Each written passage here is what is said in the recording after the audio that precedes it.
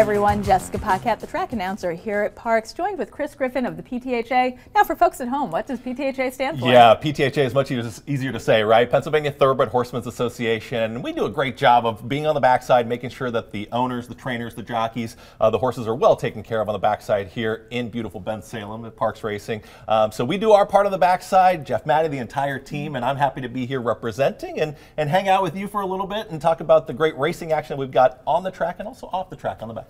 And welcome to On the Rail. We are going to give you a behind the scenes look at everything that makes Parx so special. Behind the scenes features, some interviews, some exciting things. What do people have to look forward to? Yeah, great fan base here in Philadelphia, as our audience can attest to that's watching right now. And so we've got interviews, features. We're going to talk about the great horses on the backside.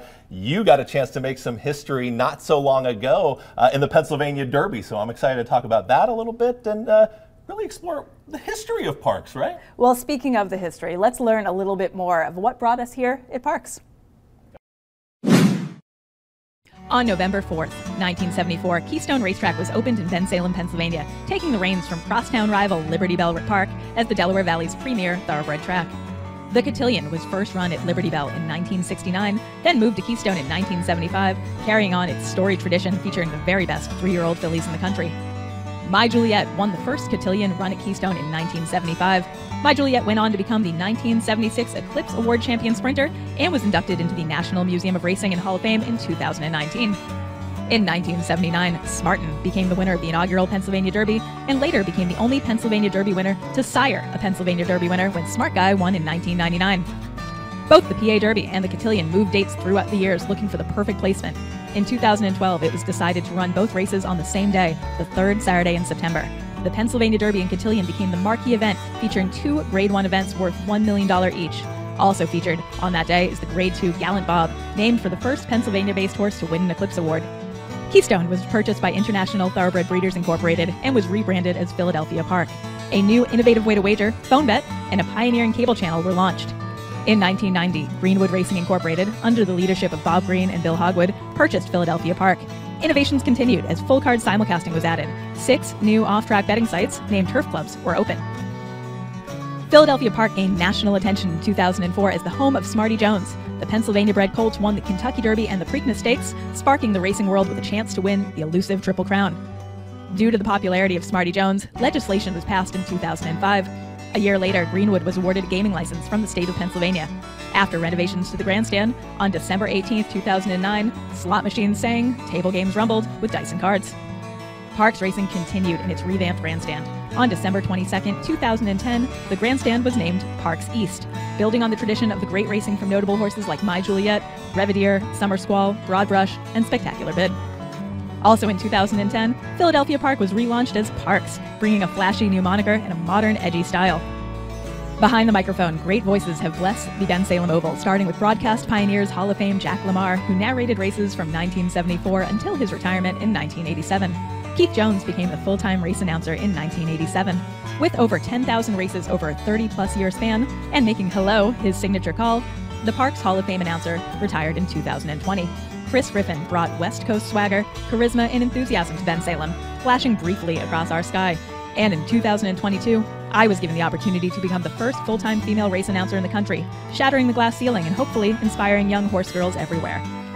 Parx Racing continues to lead and innovate, bringing sports entertainment, top tier racing to a growing audience across the tri state area.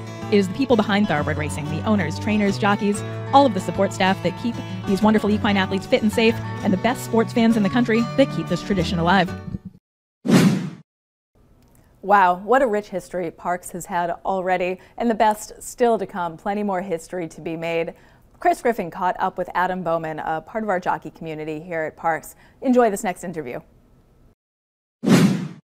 Jockey Adam Bowman didn't start getting on horses until someone suggested he should try it. I graduated high school, didn't really know what to do. I actually did a lot of construction. I graduated with like a little bit of a degree. I went to a technical school, so I was National Association of Home Builders. So I graduated, I couldn't get a job. Went interview, couldn't, everybody said, ah, you're too small, you can't do the job. And then one day my mom said, well, you know, there's a, there's a school down in Kentucky, you know, why don't you try to be a jockey? be a jockey. I, I've never been on a horse other than a pony. I'm like, sure, I'm athletic. I'll, I'll give it a try. I went to Kentucky, went to the North American Racing Academy, had an interview, and uh, kind of fell in love with the horses. Adam Bowman's riding career began in Kentucky. First, I did a phone call interview with Chris McCarron and a couple of his people. And then uh, they said, oh yeah, we'd like, we'd like you to come to Lexington. I told my dad that day. They put me on a horse, a thoroughbred, and I didn't know what to do. They said, yeah, just try to jog him down, jog him down the shed road. I jog him down the shed road. I, I don't know what I'm doing. So they snapped a shank on him, and they, they jogged him, and I kind of stood up on him. And okay, it looks like we might be able to work with you, Adam. A jockey is working around the clock to get all the mounts they can for the afternoon.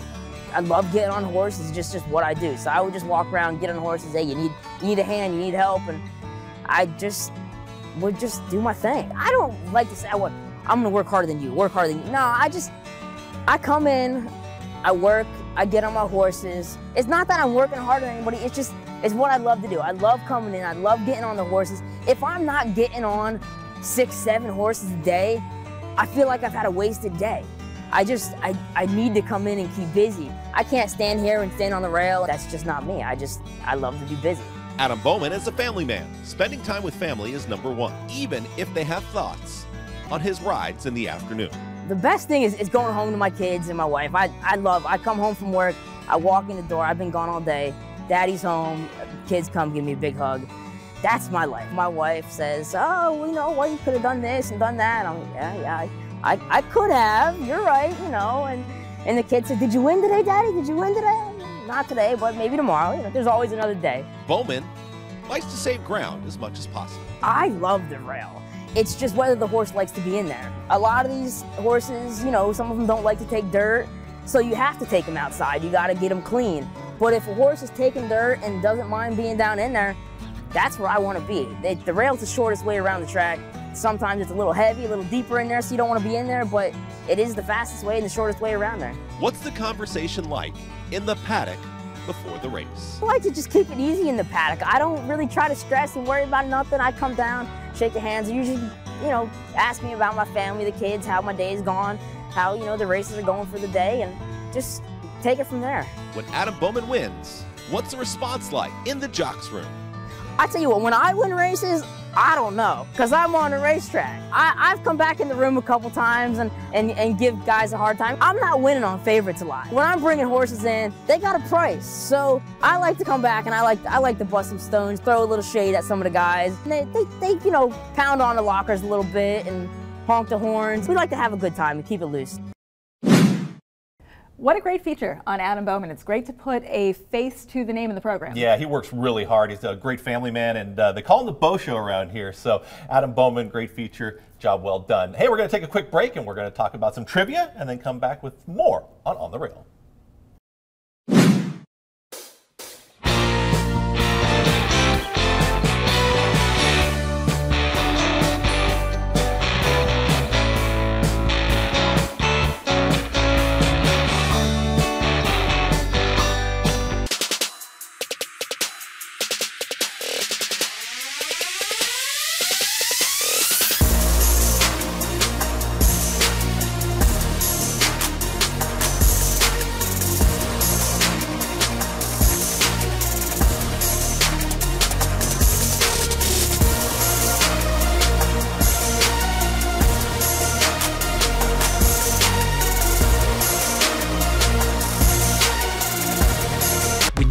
Parx app, you're in the zone.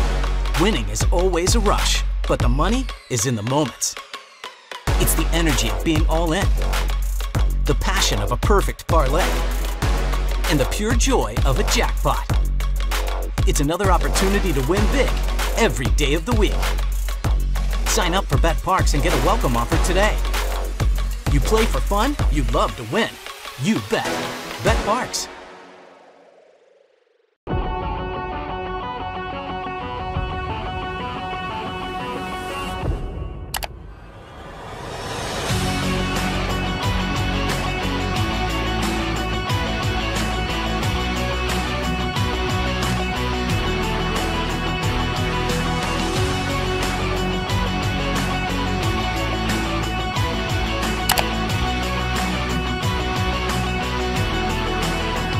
The Pennsylvania Thoroughbred Horsemen's Association is the advocate for Parx Racing's horsemen and has worked hard to secure better lives for the hundreds of trainers and their families that work in the thoroughbred racing industry. Our horsemen benefit from medical coverage, trainer pension plans, and increased purses. Thanks to these horsemen, racing at Parx is the very best, providing entertainment for you and the entire family. The Pennsylvania Horsemen are proud to be part of the community and introduce a new generation of fans to the sport of kings. For years, the Wager Warrior has protected our tracks. Now he's on a mission to help his fellow warriors win big. Let's see how it's going. Hmm, Boats Rockland has been having a good run. He's definitely gonna show. Should I risk it on the win? Hey, you, over here. No, down here. Check out the past performances. I've sent them to your email. I was just trying to help. Go to pennhorseracing.com slash wagerwarriors to get your past performances today. PA Bred, I think we've built a, a brand at this point. The state of Pennsylvania has the best breeders program in the entire United States. Angel of Empire wins the Arkansas Derby and wins it clear. Caravel in the Breeders' Cup Turf Sprint. Pennsylvania and the PHBA have the best state bred program in the country, bar none. The best Breeders' Awards and Stallion Awards in the country.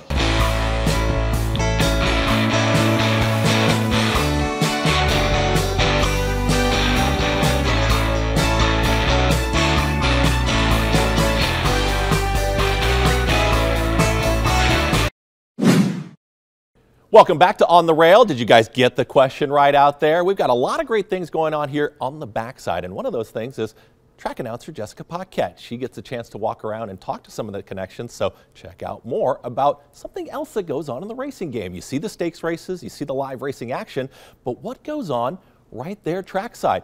It's the claiming game. What is a claim? Let's find out. Jessica Paquette with the Inside Track.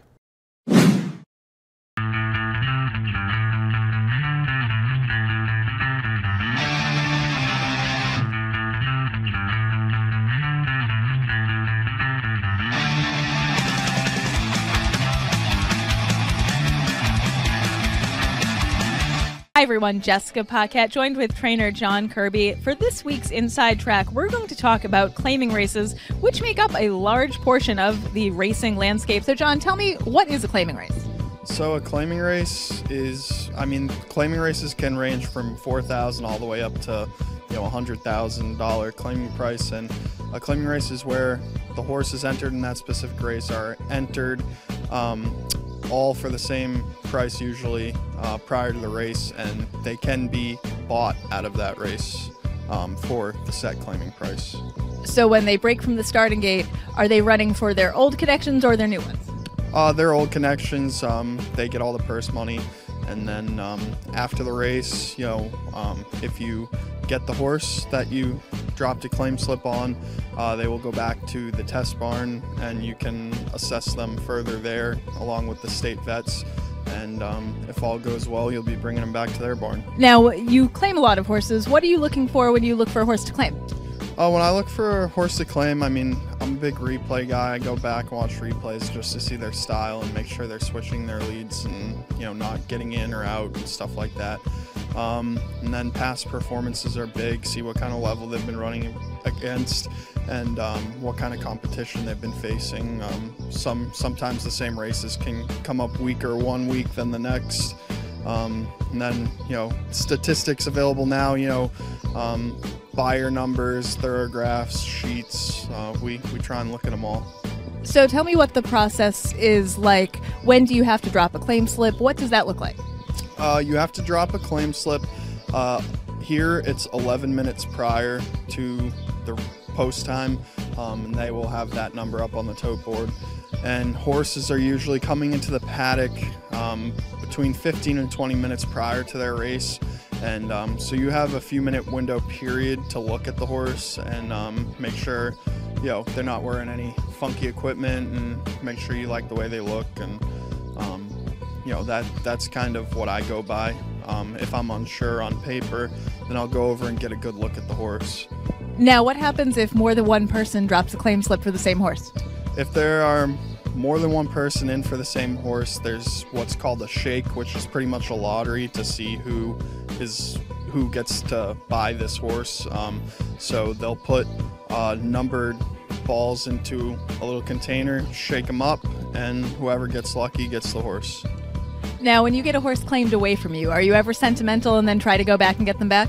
Absolutely. Um, you know, naturally there are some horses you get along with great and some not so much, but um, you know, I'll, i claim a lot of horses that I lose back. Um, you know, once once you kind of get to know a horse's quirks and what they like and what they don't like, it makes life a lot easier. You know, when you're claiming a horse, you know, it's it's kind of fun to figure out, you know, what makes them tick. Oh, I am Jessica Paquette. This is John Kirby, and this is the Inside Track on claiming races.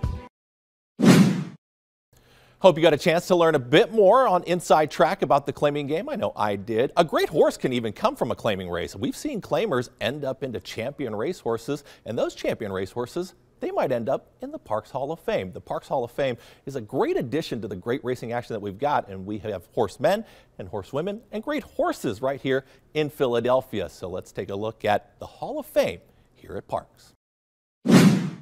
Founded as a joint venture between Parx Racing and the PTHA, the Parx Racing Hall of Fame was established in 2011 to honor the rich history of Pennsylvania's most storied thoroughbred racetrack. The Hall of Fame, located in the Parx Grandstand, honors the notable horses and their human counterparts who make up the intricate tapestry that is Parx Racing. Upon entering the Hall of Fame, you are greeted by a statue of the Commonwealth's most famous equine athlete, 2004 Kentucky Derby and Preakness Stakes winner, Smarty Jones. Smarty Jones and his Parx Hall of Fame trainer John Servis took the entire country on an incredible ride, coming heartbreakingly close to winning the Triple Crown while shining a spotlight on Pennsylvania racing and breeding. From there, you walk through history as over 90 beautifully engraved plaques honor the members of the Parx Racing Hall of Fame. Trainers, such as the aforementioned John Servis, who followed up his 2004 Kentucky Derby win with a victory in the 2016 Kentucky Oaks, Robert Camac, whose horses earned close to $30 million in his career, winner of over 1,800 races, Mark Reed,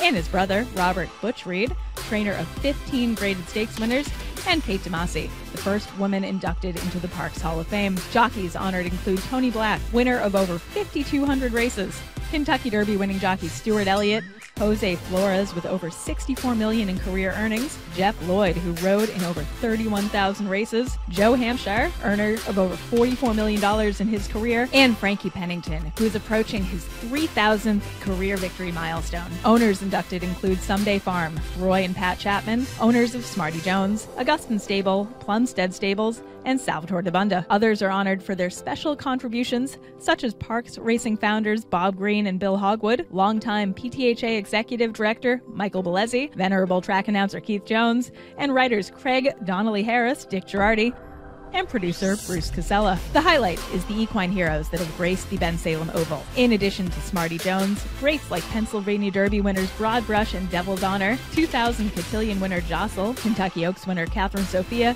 and Vequist, winners of the 2020 Breeders' Cup Juvenile Fillies. In addition, the hall features a collection of caricatures by legendary horse racing cartoonist Peb, plus so much more. We inducted our newest members to the Hall of Fame Shubwagon, owner Jack Mondell, and Parx COO Joe Wilson. Next time you come to Parx, be sure to take a trip through history at the Parx Racing Hall of Fame. Great to see all the newest Hall of Famers, our newest inductees, and uh, what better place than to stand right in front of the Hall of Fame room here at Parx? It does feel like you get to take a walk through history. And now let's get to know some of our horsemen and women a little bit with our fanatics.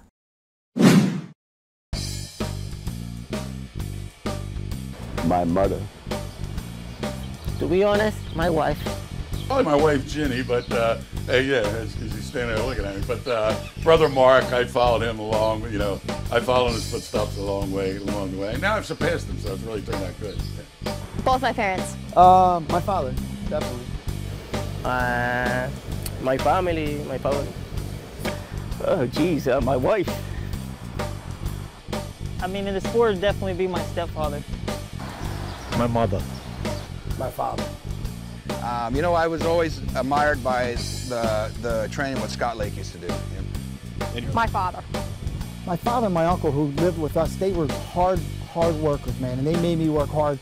Like I said, when I was a little skinny kid, wheelbarrowing concrete. they just told me you got to work hard.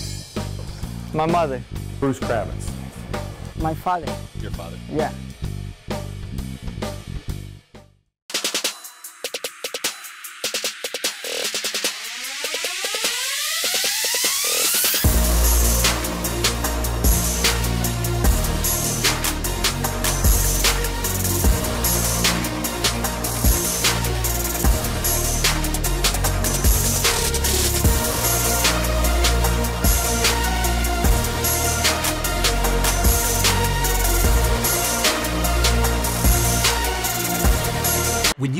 You Parx app, you're in the zone. Winning is always a rush, but the money is in the moments.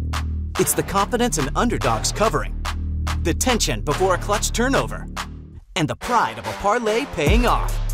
It's another chance to win big with all day action. Plus, win your first $10 bet and get $125 in sports bonus bets. You play for fun, you love to win. You bet. BetParx. Racetrack Television Network brings you every race, from every track, on every screen, every day. With monthly packages starting as low as $5, RTN gives you great value and access to more live HD streaming and race replays than anyone. Visit RTN.tv today to sign up and watch on almost any device, including Roku and Amazon Fire. RTN has packages that start at $5 per month.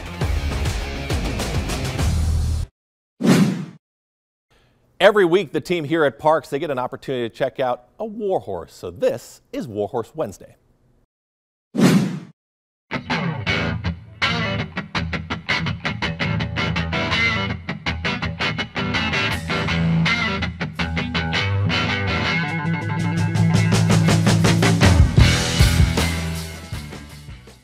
Hi everyone, Jessica Paquette, joined here with trainer Scott Lake. It is Warhorse Wednesday. This is Wagon Boss, 83 starts, 13 wins. He is 10 years old and aging better than most of us. Now, Scott, you've built your career on these old, hard knocking geldings. Tell me about what makes you want to add one of them to the barn. Well, they, you know, they've always been my favorite, and we just kind of baby them along a little bit, jog and get them happy and eating good, and uh, it's really worked out for us over the years. I mean, I, I just love those old horses that love the, what they're doing.